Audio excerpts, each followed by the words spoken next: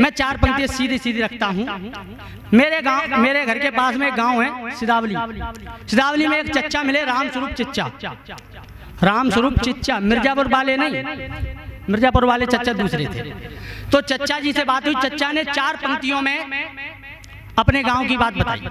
वो मैं आपके सामने रख रहा हूँ कि अच्छे दिनों की बात में हमको फंसा गए। कि अच्छे दिनों की बात में हमको फंसा गए। प्रधान जी तो गेहूँ, चना भी पचा गए। लॉकडाउन में एक किलो एक किलो चना और राशन मिलता था। कि प्रधान जी तो गेहूँ, चना भी पचा गए। पशुओं की पंजीरी को भी ये छोड़ ना सके। और अंतिम पंक्ति जो नहीं सुन वो भी अपने सुने अंतिम पंक्ति जो नहीं सुन रहा ज़रूर सुने। और अपने आप को रोक के दिखाए कि पशुओं की पंजीरी को भी ये छोड़ ना सके। मेरे गाँव के प्रधान लेटरीन खा गए। अब सीधे अपनी कविता पे आता हूँ। और मैंने शायद देश का पहला कवि हूँ जिसने इस विषय पर लिखा है। मुझे गर्व है कि मैंने एक नए विषय पर लिखा श्रृंगार वीर हास्य ये सब लिखे जा चुके हैं। मैंने एक ऐसा विषय चुना है गाली। चेयरमैन साहब गाली। हमारी रोज़मर्रा की भाषा में कितना प्रयोग होती है हम सब जानते हैं। क्रोध में हास्य में खुश में दुख में गाली अपने आप निकल जाती है। कोई रोक के दिखाए? अरे अपने आप निकल जाती है। वो पिक्चर थी पीके पीके में बताता है आमिर खान के कैसे गाली निकलती है। अच्छा अच्छा गुस्से में अच्छा सब तरीके से अलग अलग गाली निकलती है। मैंने गाली के ऊपर एक गाली गाथा लिखी है गाली मेहमा लिखी है। इससे पहले नहीं लिखी गई। हाँ समय की बंदिश है लेकिन मैं सेकंड लास्ट हूँ तो दो मिनट एक्स्ट्रा ले लूँगा बस। इतनी आपसे छूट माँगता हूँ। प्लीज़ हाँ हाँ। कि काश मंच से खुली गालियाँ हम भी शायद दे पाते। सब देते हैं हम भी देने दो यार। काश मंच से खुली गालियाँ हम भी शायद दे पाते कुत्ते गीदड़ और कमीनों से भी आगे बढ़ पाते। महाशांति मिलती मुझको मन मेरा भी प्रसन्न होता भीतर की सारी भड़ास को फिर निकाल मैं भी कहता। और खुली घोषणा हरदम करता नापाक पड़ोसी मोड़ा आ मोड़ा हमारे यहाँ बच्चे को कहते हैं लड़के को। और बाप कौन है? हिंदुस्तान बेटा कौन है? पाकिस्तान। खुली घोषणा हरदम करता नापाक मोड़ा आ तुझको भी संबंध बता दें लहसुन और हथौड़ा का। अब अब अब आप सब महानुभाव छूट हमें भी दो कवियों, छूट हमें भी दो कवियों। इस बदले हुए जमाने में वादा करता हूँ, तौल तौल गाली दूँगा पैमाने में। गाली की प्रतिभा है मिलती, गाली की प्रतिभा है मिलती। हर भारतवासी ताने में, फिर गाली के ही बोल मिले जब भोजपुरी के गाने में। और बेखौफ खुशी से सब भाई, बेखौफ खुशी से सब भाई गाली देते मैं खाने में। और हर जगह की नेता और पुलिस गाली देती है थाने में।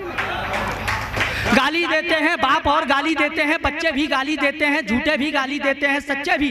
गाली दे रहे भाजपाई, बसपाई और सपाई भी, कांग्रेसी और आप वाले, मेरे पड़ोस की ताई भी।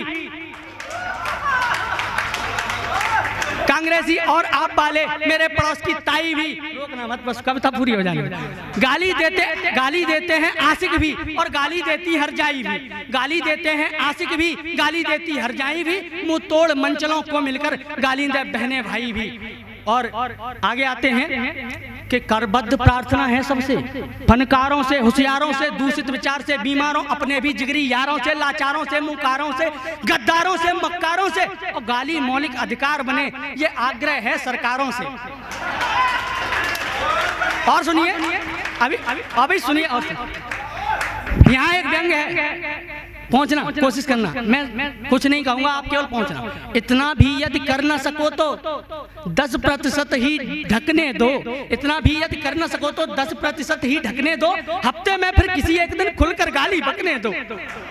और फिर भी जो संतुष्ट नहीं फिर भी जो संतुष्ट नहीं तो कुछ घंटों तक देने दो। और इतना भी कर ना सको तो मिनटों में कह लेने दो। को मिनटों में कह लेने दो। गाली में नवरस बसते हैं। अभी मैंने बताया सब रस में गाली दे सकते हैं। गाली में नवरस बसते हैं। बस बन जाते साधक अलंकार। और इस पंक्ति के लिए मैंने दो पंक्ति लिखी थी। इस पंक्ति के लिए मैंने एक और है इसके अलावा कि मैंने पूरी कविता लिखी थी। गाली में नवरस बसते हैं। बन जाते साधक अलंकार। और गाली गाली होती धारा प्रवाह अवरल बहती है निराकर। गाली गरीब का गौरव है। गाली गरीब का गौरव है। धनवानों का है अहंकार। गाली गरीब का गौरव है धनवानों का है अहंकार। अति भ्रष्ट मीडिया वालों के गाली सम होते समाचार।